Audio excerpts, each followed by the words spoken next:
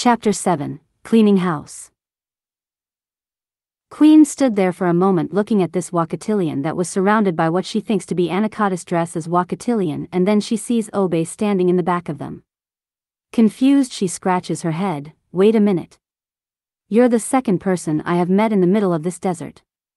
What is happening that you are here also? First the old man, Mlezi, and now. Wanyenyekevu interrupted, hold on, you met Mlezi? Queen said, you know him?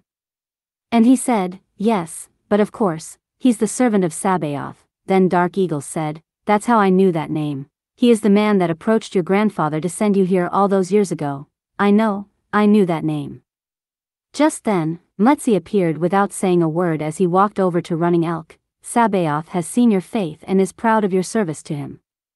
Mlezi then touched his forehead, You shall not feel pain any longer, my friend, for it's time to come home. You have asked Sabaoth for many things, but he has noticed your selflessness. He then pointed to Wanyenyekevu and waved for him to come forward, this is just the beginning of what you have asked. Sabaoth 4, light in that which breaks the darkness. Your, Orso Nero, his name is Wanyenyekevu. Dark Eagle and Queen looked at each other when Letzi mentioned Orso Nero. A group of tall men, wearing all white appeared before them all as Mlezi continued, Your welcoming party is here, shall we go? In tears, Running Elk stood up and spoke to Wanyenyekevu, It is an honor to meet you. Wanyenyekevu took the man's hand, No, the honor is mine, for I have met those whom Sabaoth has chosen, and I wish I had met you sooner. Peace surrounds you, and I hope to accomplish what you have. Running Elk said with a smile, according to my desires. You shall do that and more, my son. The men in white surrounded Running Elk, and they all disappeared. Mlezi then took a seat on a large boulder, the rest of the elders, along with the warriors, may go home, for this was truly an ambush to kill you and take the land that you desire, but Sabaoth will. Now give you the entire city to have by yourself. An immoral people that Sabaoth shall destroy and chase the rest of them back to the place of their destruction. Queen, Dark Eagle, and his sons just stood there in awe as they watched what was happening. Dark Eagle, this is Liberte, that Sabaoth has renamed Wanyenyekevu, son of Tablita, Mlezi said as he turned to Dark Eagle, You have delivered Anaya from danger, and now Sabaoth shall deliver you from danger for your obedience and loyalty to him. He looked at Queen, Anaya, you were chosen to do great works and have done a great job thus far, and Sabaoth is pleased, but now it's time for him to take control of this matter. Then he turns to Dark Eagle's sons. Those whom you call your family shall be your enemies, and those whom you have called your enemies shall be your family. Think not that your family had become your enemies, for they were your enemies before they were even your family. Don't let the sadness consume you, knowing they have already conspired to kill you as we speak. Alemwa, Kisama, Nipahem, you are now. He pointed to each of them. Shadrach, Meshach, and Abednego, for your bravery and humbleness from this day forward shall you be called. Sabaoth has ordained you to be the elders, for the elders that are now will all be gone before the year ends, and Dark Eagle and Wanyenyekevu shall rule this land according to Sabaoth's will. Mlezi spoke to them for two hours before he disappeared. Queen sat there for a few minutes thinking about what was spoken by Mlezi when Wanyenyekevu approached her, smiling. Queen asked, You mentioned earlier you don't enjoy using the name Wakatillions. What did you mean by that? Wanyenyekevu asked, Is it Queen, or Anaya? Queen said, Only my family calls me Anaya, you can call me Queen. Wanyenyekevu said, Okay, Queen, for centuries, they have given us names to describe or talk about us, and they are afraid to call us what we are, the true children of Sabaoth. It's not only in our skin but in our DNA, which is why they have persecuted us. But they, too, can inherit the promise by faith through Mshika. Through jealousy and envy, they refuse and my name, I prefer to be called Wanyenyekevu, son of Tablita of the Natchez tribe. Or simply a child of the Almighty. Wanyenyekevu noticed Aldhib and the rest standing around, and he then said, Where are my manners? Let me introduce you to my family. This is Jonathan. Aldhib gave him a look, I am sorry, his name was Jonathan, his name is now Aldhib, his wife, Joy, and his brother Jom. Aldhib and Joam are so-called Anakatas. Grace, Mercy, Elisha, Elijah, and Daniel are so-called Computans. My mighty friend, Obe, who's also a so-called Wakatilians. Since we have been together now, they have given us all a new name, mestizos, but I'll explain that some other time. Oh, there is another Wakatilians, named Naraglisser, who is at home, he's in charge of our city, Madden at Altenwer. Queen looked at Wanyenyekevu, let me get this right. Joy is Computans, and she's married to an Anacatus named Jonathan, but Sabaoth has given him the name Aldhib. Aldhib raised his hand and smiled. Queen slowly waved and with a confused smile, she took a seat. Now, all the rest are Computans except for that big guy named Obe? Wanyenyekevu said. Yes, and Obe was a bounty hunter and slave for Oedipus. Sabaoth has changed most of our names for the work he needs to be done in us and to show his people that he has not forsaken them.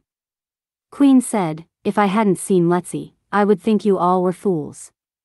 Shaking her head, she said. Sabaoth is able, Wanyenyekevu replied, he is. Looking at the time, Queen said. The meeting was two hours ago. Please, it is going to take at least 30 more minutes to reach our destination, pointing. At their sky crafts, Wanyenyekevu said, no, about a minute. If you hop on, we will fly there. Dark Eagle and his sons tied down their horses and joined Wanyenyekevu and his team on sky crafts. Reaches for Queen's hand, ready? Queen and her family had never been on such a ride, and it was scary and exciting at the same time. They stayed low enough to get to their destination but not high enough to scare them no more than they were already. Queen asks, How did you get these sky crafts? Aldhib said, It was Elijah's and my ideas. We had one, then a few we took after a few battles, and then, before we knew it, we had more than we needed fighting Oedipus and his sons and just cross-engineered them with a few extras. Wanyenyekevu smiled, yep, they are our local geniuses. Queen said as she inspected the bike, how are they so quiet? Jonathan and Queen started talking about engineering, and Wanyenyekevu was impressed by Queen's intelligence. Upon arrival, the people stared at them and questioned themselves, as they parked near the entrance of the meeting hall. Where? Did they get those fancy sky crafts? Who are these new people? Are they Wakatilians, Computans, or Anacatus? Queen and Dark Eagle led the group in the meeting chamber. They look as if they were not even expecting us, said Dark Eagle. Wanyenyekevu saw everything, but he was forced to keep quiet until danger arose. I will let you speak, until it's time for me to speak. Trust me, please, for Sabaoth has shown me everything. Fear not what you see, for Sabaoth has given us gifts that will amaze you, and you and yours shall receive your gift when Sabaoth deems you ready. Queen did not truly understand, but looked at Dark Eagle, and they both looked at Wanyenyekevu, okay. Wanyenyekevu looked around as he entered and took inventory of the men and weapons. There were 60 civilians and 30 armed men that surrounded the compound walls. Six men stood in the hallways as they entered the chambers, two at the door and six inside. As he walked inside, a long marble U-shaped table stood in the center of the room with 24 chairs on either side of the table. As they walked toward the table, down a small aisle, Wanyenyekevu noticed an Abenian pacing at the back of the table. It was apparent he was furious at their delay. As they walked in, he shouted, Do you think we have all day to wait on your motherfucking asses? Queen tried to keep her composure as she began to speak, sorry. But was rudely interrupted. Where are the elders? It is they who make the decisions. Is that not true? And who the fuck are these motherfuckers here? Queen began to speak again before Dark Eagle grabbed her arm. We will not be disrespected any further, either you speak to us in a respectful manner, or we will. Leave. The Abenian shouted, Leave? Leave. Motherfucker, you're about to die, we'll kill the elders after we're finished with you. Wanyenyekevu touched Dark Eagle and Queen as the Abenian shouted, Guards. The guards outside the door and all the guards inside the chamber's hallways entered. Wanyenyekevu said, Wait, wait a minute, now. This is not a fair fight, you have eight arms, three legs, and a tail. You must have one hell of a reach, don't you? His comments confused Queen and the guards as he continued, When we are finished, the entire room shall die, and not one of us will have to break a sweat doing so. The Abenian said as he looked at himself in a mirror while the guards stood in the ready position, confused. What do you speak about, little man, and who are you? One Wanyenyekevu smiled, I am Sabaoth's messenger, and we are your worst enemies. Oedipus and Abony B. 6 have perished because of me and my men, and so shall you and your men. The Abenian opened its mouth to say something, but before he could get a word out, Wanyenyekevu threw a star, which struck the Abenian in his throat. As he grabbed his throat, he threw another one, and it penetrated the center of his skull, falling to the ground, revealing its identity before it incinerated into a puff of dark smoke. One Wanyenyekevu shouted, Iwa. The guards surrounded them and attacked, but Grace raced towards them and slit each of their throats as they stood there gasping for air and holding their necks while the rest of the warriors killed them. They destroyed everyone in sight and left not one of them alive. Dark Eagle and his family just stood there in awe as. One Wanyenyekevu said to Obe, You guys take care of the rest while me and Grace look around with Dark Eagle and Queen. Grace, with great speed, raced through the area, searching documents and computer files and checking for helpful information. I think you guys need to take a look at this. Grace said as she handed some documents to Wanyenyekevu. Wanyenyekevu looked over the documents and handed them over to Dark Eagle. I don't know these people, but it sounds like you have a big problem at home. Just then, Obe walked in with the rest. What about the civilians? Same as usual, let's see whose heart is in the right place, Wanyenyekevu said. As a matter of fact, it looks like there is a need for some spring cleaning at Dark Eagle's camp. So, I will handle the civilians. I need you and Daniel to take half of the men back home and send. Amardad to decipher this information ASAP. The rest will stay here. I will take Dark Eagle and Queen back to their horses and return as soon as possible myself. Dark Eagle took the documents, I have to sit down, these last few minutes have me.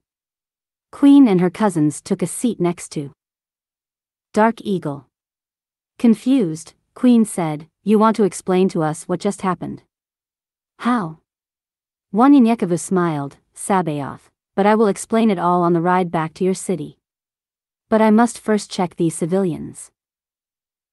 The men, women, and children all stood in a line waiting for Wanyenyekevu. I am not here to harm you, unless you try to harm me, but I need to speak to each of you before I leave. Wanyenyekevu took less than 30 minutes to see all the people living at the site. He chose 20 people to stay while forcing the rest to leave. Daniel, Jome, and Alicia escorted the people out of the area while the rest were questioned and released. Wanyenyekevu prepared to leave alongside Dark Eagle, for Obe and Daniel had already left, leaving the rest behind to get rid of the bodies. A high officer, a family member, and a dear old friend are the masterminds behind the trafficking in the area, and it breaks my heart, said Dark Eagles with a heavy heart. As he gets on the sky craft, a young lady approaches Wanyenyekevu. Excuse me, sir. Wanyenyekevu smiles, yes, with tears in her eyes, she continues, My husband was escorted out, and I remain here. There must be some mistake.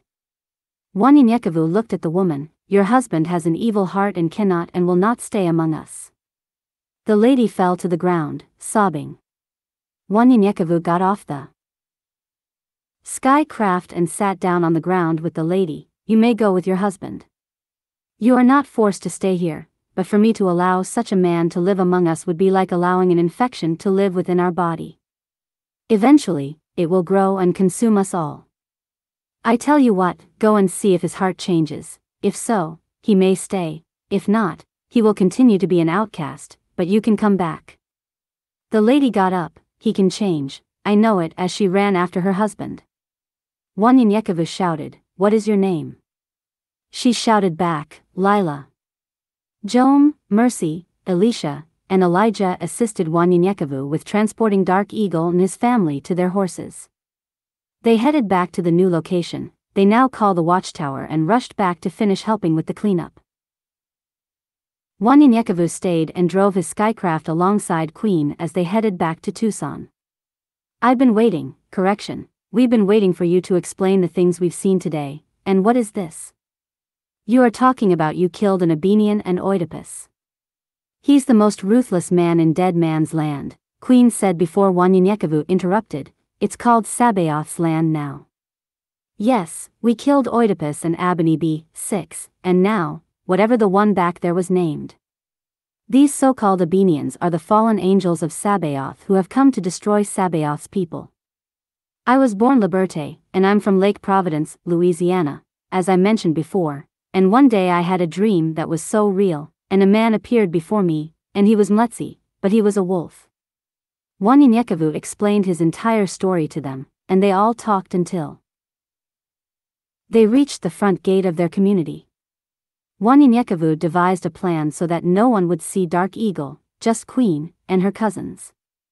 Dark Eagle escorted Wanyenyekevu to a small hut in the back of his house. I believe you would be more comfortable here than in the house plus. This is where I come to meditate and get away. You may stay here for the night, everything you need is here, and when supper is ready, I'll have someone to come get you. Wanyenyekevu thought for a moment and said to Dark Eagle, Thank you, unsure how long I will stay, but tell no one about what we have discovered. Just call for a meeting for the entire community, let's say noon.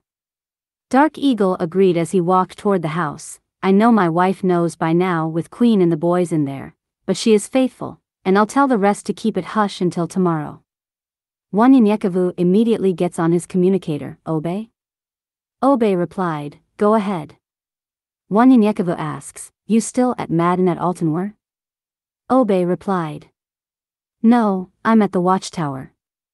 Amardad has located a list of names and functions in one of the largest trafficking rings I have ever seen. They were the main ones sending them to Oedipus. Wanyenyekevu said, Tell Amardad. Amardad interrupted, I'm here, go ahead. Wanyenyekevu continues. Whatever you find, just continue to do at your leisure, but I need Obe and the rest of them to be here about 11.30 am, and I need a few more people there to protect the watchtower. Obe returned by saying, Naraglisser was way ahead of you. He sent back 25 men, ready to go, when we got there. Wanyenyekevu laughed, one speedster and at least one healer, I bet. Unsure if I can reach him from here, but tell him thanks. Obe said. Yep, one speedster and a healer. See you in the morning, over and out. Wanyenyekevu, still laughing, replied, over and out. A knock on his door awakens Wanyenyekevu. Supper is ready, if you're hungry, it was Queen. Opening the door, he said, I didn't even know I had drafted off. Let's go, I'm starving. Queen looked at Wanyenyekevu, you are a proud Wakatilians, I see that, but you hang out with many non-Wakatilians. Why? Wanyenyekevu smiled. Do you remember when Sabaoth told Peter and Paul to go get the Gentiles in the Torah? Queen said. Yes. Wanyenyekevu stopped, this is the same thing. Sabaoth wants all of us, not just one group of people, but all who are willing to receive him. They continued walking before Dark Eagle greeted them at the back door. How are the commendations back there? Wanyenyekevu smiled, very comfortable. I drifted off to sleep, and didn't even know it. Dark Eagle laughs, yeah, I know. I hope you love beef stew. Wanyenyekevu smiled, yes, I do. While eating, they all discussed the plans for the next day and made all the arrangements for the entire city to see and hear the event. Early the next day, Obe and the rest of Wanyenyekevu's warriors arrived at Dark Eagle's home and went over their plans. Afterward, Wanyenyekevu said, Remember, let everyone in, but don't allow anyone out, for the ones we are looking for, will try to escape. Because they will think Dark Eagle is dead, so when he approaches the podium, it should be when you see movement. The people started arriving at the old zoo, Reid Park, where they held their community meetings at 7 a.m. Many came in, and by 8:30 a.m., a few strangers slowly entered the arena. The elders and Dark Eagle's sons sat at a table behind a podium. Dark Eagle's eldest son, Alemwa, approached the stand. We have unfortunate and disappointing news to tell you, but be of good cheer, for we have exciting news from Sabaoth as well. Myself, Kisama, and Nippahem, Sabaoth has ordained us as your new elders and has changed our names too. He pointed to them as he continued, Shadrach, Meshach, and Abednego. Now, after a lengthy meeting this morning, some elders will continue to guide us, but many will step aside and allow Sabaoth to have his way. Kisama approached the podium as Alemwa continued, Now a word from my brother Kisama, or shall I? Say Meshach. Clearing his throat, Meshach paused as he looked around. Sabaoth must clear the way for his new plan for us, and by doing so, there are some changes that must be made for Sabaoth to do so. According to Sabaoth's new plans, all of Tucson is officially ours. The crowd roared. With excitement. This land and more shall be spread out and given to each family. But with new land comes new laws that must be carried out to the letter. These new laws will be handed to you with the deeds to the land. And now from our little brother Nippahem or shall I say a big bad Negro, I'm sorry, Abednego. The crowd laughed as they cheered for Nippahem, I guess even though I'm the youngest, I'm also the biggest, so I'll take that big brother. Laughter was heard throughout the cheerful crowd, well, I guess I'll have to be the bearer of the bad news. The group quickly became silent, there are enemies among us who look like us, act like us, and speak like us. No, it's not the strangers you see on the sky crafts, those are our friends, no, they are family. They allowed us to receive the gifts we present to you today. Know this, and they are not only Wakatilians but Computans and Anacotis as well. It shocked the crowd as he continued, these people are called mestizos because they are joined together by Sabaoth, for Sabaoth, and so shall we. Sabaoth wants us all to be as one in him. We have traitors in our midst who have betrayed us for monetary gain and for a position to sit at the table with Satan himself. They are our own people who live and eat with us, they are the one who has betrayed us. Wanyenyekevu and Dark Eagle stood behind a veil and waited for their cue, for the crowd did not see them. Wanyenyekevu heard a voice on his communication device. Wanyenyekevu, there is movement from the crowd, some are trying to leave. It was Jome. Wanyenyekevu replied, gather them as quickly and quietly as possible and place them all in jail. Abednego was still speaking. We have two new leaders who shall govern us and guide us to this new way in which Sabaoth has instructed. My father, Dark Eagle, and our new friend, Wanyenyekevu of Louisiana. Dark Eagle and Wanyenyekevu walked from the veil, and there were spots of confusion around the crowd, but it was quickly and quietly resolved. Dark Eagle approached the podium. Our meeting yesterday was an ambush to murder the elders, my family, and me, but Sabaoth sent us Mlezi. And Wanyenyekevu to intervene in this plan and ordered us to clean house. Saying, Those whom you call your family shall be your enemies, and those whom you have called your enemies shall be your family. Think not that your family had become your enemies, for they were your enemies. Before they were even your family. Don't let the sadness consume you, knowing they have already conspired to kill you as we speak. We have read the story of how Judas betrayed Mshika. He had the wisest teacher, he benefited from his teachings and learned more than anyone here today. Yet, his heart was not pure. This is how those who live amongst us shall forever be, for now on, you must be of a pure heart. Pointing to an elder, Dark Eagle said, Weeping Crane, here and a few others, has been trafficking our people to the Abenians and Oedipus for drugs, sex, and organs. They have been experimenting on how to delete our race from the planet through our DNA. I would be justified if I would walk up to him now and cut his throat from ear to ear, but death is too good for him. He must endure such pain, to cry out for death, but death will not hear his cries. All those you heard in the background are probably also involved. Myself and Wanyenyekevu have agreed that life in prison will be better suited for these men. We lock them up here and ship them to. Turning to Wanyenyekevu, he asked, What do you call it again? Wanyenyekevu, standing by his side, Madden at Altenwer, it's a training camp where the prison is being built as we speak. Thank you, Dark Eagle, again, my name is Wanyenyekevu, and I was sent here by Sabaoth. Wanyenyekevu paused and looked at Queen, and the vision that Mlezi had shown him of his wife years ago flashes before him, as he continued, to do the will of Sabaoth, that was five years ago, and like Paul in the Torah, I travel and meet many on the way. I started by myself to come here alone, but Sabaoth brought these people into my life along the way. Since I left, Sabaoth has unexpectedly brought many others into my life. Now, there are so many I have lost count. We have taken many cities and have converted many souls. The men on the sky craft are truly warriors of Sabaoth, and cleaning house is what Sabaoth wants, and it is what he shall get. Waving his hands at Queen, is there anything you want to say? Queen walked up to the podium, if there is no justice, there will be no peace. Once we straighten out the details, we will have another meeting in two days or so.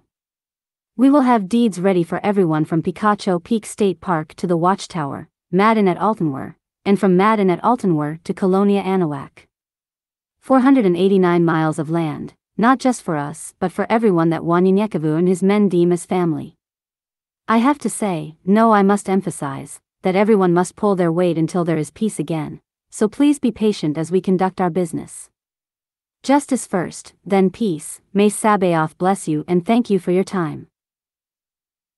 They arrested 50 people and put them all in jail, but the people already in prison demanded to be seen by Dark Eagle, Wanyenyekevu, this is Daniel over.